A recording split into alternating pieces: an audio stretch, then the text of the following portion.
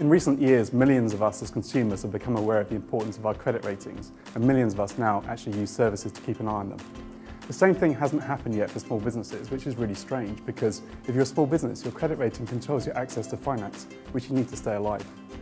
At Check Business, we intend to put millions of small businesses in control of their credit rating. We were just a few months old, but we've already got tens of thousands of users and we're growing very quickly.